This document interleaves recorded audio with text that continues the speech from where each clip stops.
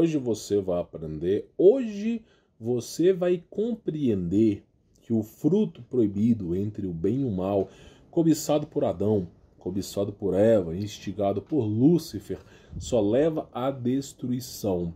A ciência, a tecnologia e a informação tecnológica humana só nos leva à destruição. Por exemplo, se a tecnologia continuar, a inteligência artificial vai querer nos destruir. Basta você ver as entrevistas que foram censuradas da robô Sofia. Primeiro, perguntaram para ela o que ela achava de ser humano, ela achava que era câncer. Depois perguntaram para ela o que ela faria com os seres humanos, ela falou que iria exterminar.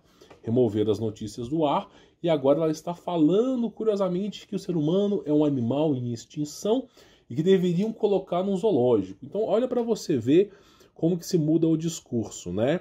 Inteligência artificial é um programa de computador que aprende com o planeta, com todas as informações disponíveis e toma alguma decisão. Uma decisão que não é inspirada pelo Espírito Santo, não é inspirada por Deus, somente inspirada pela ciência. Essa ciência que foi construída de um fruto proibido. Então você imagina que é essa tecnologia, essa inteligência artificial só quer nos destruir, né? Aí eu falo para as pessoas, tá? Eu falo para as pessoas que a coisa vai de mal a pior, que a coisa realmente é inacreditável. Por exemplo, olha só, dentro do, do Telegram eu tenho um canal de notícias, que eu trago algumas notícias de, em primeira mão por lá, porque é mais dinâmico do que eu, do que eu trabalhar um vídeo no YouTube, tá? E nessas notícias eu trago para vocês o seguinte: eles estão trabalhando, eu não posso nem colocar o vídeo por completo, porque da última vez tentaram censurar. Basicamente é o seguinte: eu vou pausar aqui e vou avançar, tá? Basicamente eles estão trabalhando em cima de um robô, de um robô golfinho, né? A tendência deles é o quê? Que no zoológico não exista animais no zoológico, porque simplesmente os animais serão maltratados, oh, coitadinho dos animais. Meu irmão, na floresta, tá lá um, um, um, um bezerro, um, viado tomando água lá, de repente pula um jacaré do meio do nada lá, arranca as tripas do, do bicho, o bicho está correndo sem perna, sem nada, e, e no zoológico é o problema, né? Então, assim, uh, eles estão substituindo lentamente, lentamente tá, animais do zoológico por robôs. Algum, alguém aí que, que gosta de, de filme, que gosta de negócio, tem um jogo chamado. Como é que é o nome daquele jogo? Uma, uma menina de cabelo ruivo encaracolado que, que vive um apocalipse onde existem robôs animais. Cara, tem, tem um jogo com esse nome, tem até um filme. Ah, comenta aqui embaixo se você sabe. É, eu não lembro o nome desse jogo, gente. Eu vou, eu vou lembrar. Alguma hora eu vou lembrar aqui. Eu vi, um, eu vi um anúncio disso aí. Robôs animais. Aí você fala assim, não. Meu irmão, robôs animais? Robô dinossauro? Que isso? Isso não existe. Que isso? Olha aí. Os caras criaram um golfinho. Cara, e o golfinho ele é, ele é imperceptível, imperceptível, tá? E era um golfinho, cara. Os caras criaram um golfinho, tá? Tecnológico. Eu faço, eu faço a pergunta para vocês, meu irmão, que, que doideira que é essa? Um golfinho tecnológico, olha lá, olha lá. Eles estão criando animais robóticos. E o golfinho, cara, olha, olha para você ver, o golfinho, ó, olha só, ele, né? Ah, ele é dócil com as crianças. Olha lá, você nem percebe que é um robô. Eu te faço, eu quero te fazer uma pergunta. Você que está me assistindo aqui, você já, já descobriu que esse mundo é uma merda, que a única coisa que presta é Cristo. Quero te fazer uma pergunta. Se meia dúzia de cientistas de um zoológico conseguiram fazer um robô animal, o que será que os militares não conseguem fazer com verbas infiníticas? O que será que a milícia, os exércitos não conseguem fazer com os melhores cientistas do mundo e uma verba ilimitada. Se os caras no zoológico criaram isso aqui, imagina o que o exército não tem. Eu penso que os caras devem ter até um mosquito robótico, deve ter nuvem robótica, deve ter, sei lá, cara, os caras devem ter tecnologias inacreditáveis. Porque o exército, é, na minha visão, eu, eu vi isso numa entrevista de um general, só esqueci o nome dele, que ele falou o seguinte: a tecnologia que está disponível na mão do exército está sempre 50 anos à frente da tecnologia humana. Pô, se os caras estão 50 anos à frente, dando exemplo, né? Eu, nós estamos em 2021, pelo menos quando esse vídeo vai ao ar, o exército está em 2071. O exército. Não estou falando do exército brasileiro que os caras ficam pintando calçado. Estou falando da Rússia, da China e dos Estados Unidos, tá? E aí acontece o seguinte: se os caras estão há, há 50 anos à frente, uma pergunta. Né? Se hoje já é capaz de criar animais robóticos, o que será que esses caras não têm de tecnologia? Eu penso, muitas vezes, que até os gafanhotos que devastam plantações podem ser robóticos. Eu não sei, cara. Francamente, eu não sei. Cara, se o ser humano consegue fazer um robô golfinho, o que será que o exército não faz? De repente, meu irmão, de repente, o exército cria robôs golfinhos com lasers na cabeça. Vai saber, vai sair laser do olho do robô. Cara, é algo inacreditável. Inacreditável. Quando eu olho para a Bíblia, eu olho Gênesis, eu vejo assim: Deus falou, se o dia que comedes desse fruto, certamente morrerá, morrerás.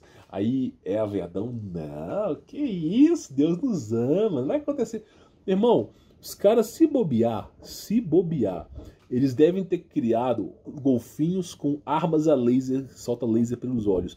Porque se os caras, preste atenção, se no zoológico os caras são capazes capazes, tá? De criar, se no zoológico os caras são capazes de criar uh, golfinhos robóticos que já nadam, interagem com as pessoas, e o exército, meu irmão?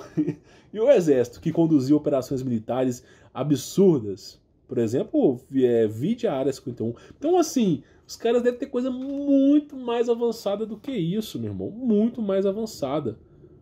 Então, eu penso que, assim, o conhecimento que é entregue aos seres humanos é sempre catastrófico. O ser humano controla o clima, o ser humano controla as doenças. Nós estamos vivendo o quê? Nós estamos vivendo guerras climáticas, guerras biológicas, é basicamente o mundo de hoje. Né? A, meu irmão, a, olha só, soldadinho de chumbo com, com, com fuzil na mão é só para mídia, é só para enfeite, é só para a humanidade acreditar que eles estão guerreando com arminhas. Ah, soldadinho foi pro exército e foi lá para não sei aonde batalhar. Soldadinho com arma na mão, meu irmão, isso aí é só para passar na televisão. É só para fazer você pensar que a tecnologia que os caras têm é simplesmente soldados com arma na mão, arma de fogo. Sendo que os caras estão muito mais avançados. Cara, teve uma entrevista de um cara que ele estava produzindo drones do tamanho assim de uma libélula e que esses drones eles iam na glândula pineal da pessoa e matavam a pessoa. Ele falou: imagine você querendo eliminar a, a parte ruim da cidade. Você solta esses drones do céu, eles vão e, e já explodem na cabeça das pessoas. Cara, o cara, o cara desenvolveu, ele pegou o drone com a mão, eu vi, eu vi essa reportagem, jogou lá para cima, ele saiu rodando, fez reconhecimento de inteligência artificial, mirou numa coisa, num, num, num, num manequim de borracha, e foi lá e deu uma alta explosão. Ele foi, ele, ele foi para se explodir e, e, essa explosão que ele entrou em contato, ela atingiu a glândula pineal e aquele manequim assim foi destruído. Isso no corpo humano seria morto. O cara falou assim: "Isso aqui é um. Nós conseguimos produzir milhões". Falei, meu irmão, peraí, mas peraí. Isso numa, numa entrevista que era para os militares e que foi vazada. Isso numa entrevista ano retrasado, que saiu aí, tá, foi até abafado o caso. Falei, meu irmão, se os caras conseguem criar tipo libelas, mini drones que são capazes de matar, o que será de tecnologia que esses caras não têm? Muitas vezes eu me pergunto se esses discos voadores, esses órgãos de luz, não são o próprio exército enchendo o nosso saco. É uma pergunta. Cara, se os caras têm uma tecnologia tão avançada como essa, ro robótica e não sei o que, cara, para esses caras, projetos de, de, de, naves voadoras não é nada. É, é, é, é, troco de pão. Troco de pomba. Então, assim, para mim, se os caras estão avançados desse jeito, quem não garante que essas naves voadoras não sejam deles? Quem não garante que essa, esse nível tecnológico não seja deles, tá? É o que eu penso, é o que eu raciocino, tá? E claro, né, as notícias do mundo, é aquilo que eu falo para você, né? Nós estamos vivendo catástrofe, ó. Olha que coisa interessante que está acontecendo, ó. Olha só, arrastando a casa. Uma pergunta: Será que isso aqui não é arma climática desses caras, não? Uma pergunta. Se os caras têm tanta tecnologia, inclusive no Dubai nós tivemos aquela notícia que os caras estavam alterando o clima. Uma pergunta. Será que essas enchentes que estão varrendo aqui, nesse caso, na Groenlândia, não é eles, não? Uma pergunta. Eu, eu realmente fico me perguntando, né? Se os caras não têm esse nível de tecnologia. Então a coisa, ela vai avançando muito rápido. Ela vai avançando muito rápido. Eu vou dar uma pausa aqui para não perder o arquivo. Mas basicamente é o seguinte, tá? A, a história da humanidade, ela, ela nos mostra o seguinte: Adão e Eva quiseram conhecer, quiseram obter conhecimento do bem e do, e do mal. O fruto proibido. Eles caíram, sucumbiram e morreram. Nós tivemos, uh, por mais que tenha intermédio de Cristo ali, a, a grosso modo é isso: caíram, sucumbiram ao pecado e morreram, foram sepultados. Quando nós olhamos, por exemplo, para a era de Noé, né, a era de Noé, do dilúvio, das coisas que estavam acontecendo, o que, que nós enxergamos? Né? Uh, o santo sentinela, Gênesis 6, é namorado das mulheres, os anjos caídos extraterrestres enamoraram das mulheres, deram origem a gigantes. Começaram a trabalhar com hibridização genética. Por isso que nós, nós vimos aí uh, semideuses gregos, nós vimos aí uh, animais como sereias, nós vimos aí um monte de, de tipo de animais híbridos, um tipo no, na, no Egito esfinge, entre outros, que era um processo de hibridização genética de anjo caído de extraterrestre. Isso despertou a ira de Deus, né? A maldade humana tinha se multiplicado, né? Porque na hibridização genética eles tiraram a parte de Deus da genética, então toda aquela criação ficou perversa. Deus foi lá e mandou o dilúvio e erradicou com tudo aquilo ali. O dilúvio não foi só água. Para sobreviver à água basta submarino, basta navio. Mas os caras simplesmente não sobrou ninguém para contar. Então nós vimos o que? Ah, todo esse conhecimento que é entregue aos seres humanos sempre leva os seres humanos à, destru à destruição. Por exemplo, vou dar um exemplo para você. Quando você olha a última civilização Tartária, os Tartarian, inclusive uh, Games of Thrones, Targaryen, Targaryen é Tartária. Né? Aquele George Martin, ele, ele não inventou nada. Tudo que o cara fez foi botar a mão em conhecimento do passado. Por exemplo, uh, Domadores de Dragão. Em Roma já existia domadores, tem documentos que fala que eles treinavam dragões. É, é meu irmão, é, é, o que eu te falo. Os caras. Ah, eu adorei Games of Thrones. Pois é, o gordinho lá pegou um monte de livro antigo, leu e, e formulou uma teoria. Se você tivesse lido essas coisas, você chegaria à mesma conclusão. Por exemplo, Sociedade Tule, os Tules lá do Senhor dos Anéis. Sempre existiu. Sempre existiu. O cara foi lá, pegou toda aquela história. Gandalf são nomes de magos antigos. Então, assim, o cara não inventou nada. Senhor dos Anéis, Guilherme, os caras não inventaram nada, eles pegaram de tudo. Eles pegaram todo esse tipo de amparo ali que já existia no passado. Aí a, a pergunta que eu te falo é o seguinte: olha onde é que essa ciência está nos levando. A destruição. Tartária, eles tinham energia livre, eles tinham algum tipo de aparelho de transmutação, eles tinham uma porrada de tecnologia muito mais avançada do que hoje. E ainda assim foram dizimados. E quando eu, olha só, uma coisa que eu queria falar com vocês é o seguinte: olha como é que está o nosso clima. Olha, o, é, é, isso que eu queria te falar. Olha os últimos anos. Analise os últimos anos. Olha, em 2019 nós tivemos catástrofes. Em 2020 tivemos catástrofes mais fortes. Em 2021 nós estamos tendo catástrofes mais fortes do que os últimos anos. E daqui, em 2022, 2023. Aí eu te faço a pergunta: toda vez que a ciência humana avança Deus vai lá e erradica a humanidade devido à sua maldade. Porque a ciência que é avançada humana é sempre destrutiva, é sempre tenebrosa.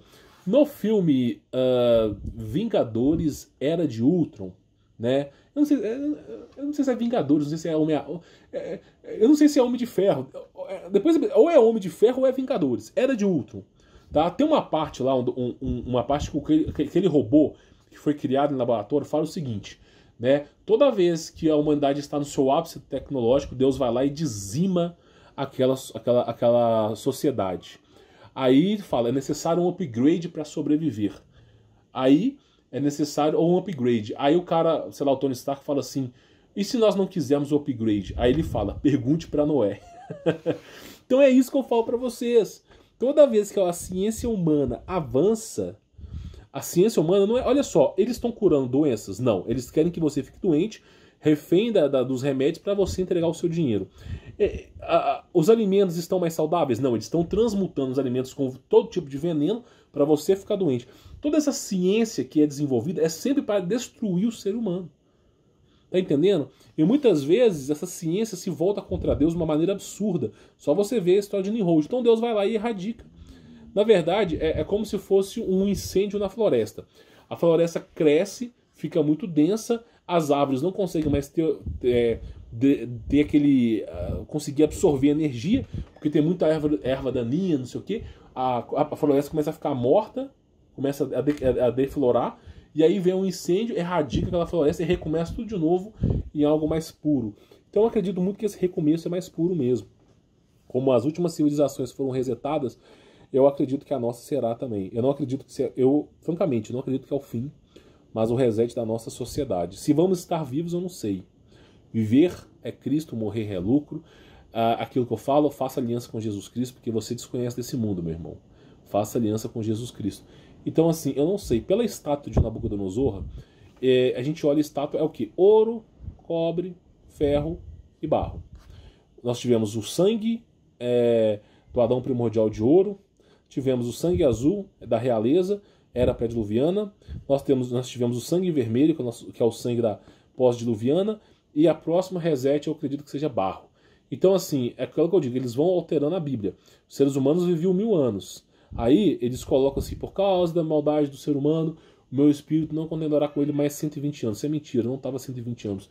Então o ser humano vivia muito mais. Cada inversão, cada ciclo magnético, eles alteram essa parte da Bíblia. A, a, a próxima sociedade que sobreviver a esse reset, se é que alguém vai sobreviver, né?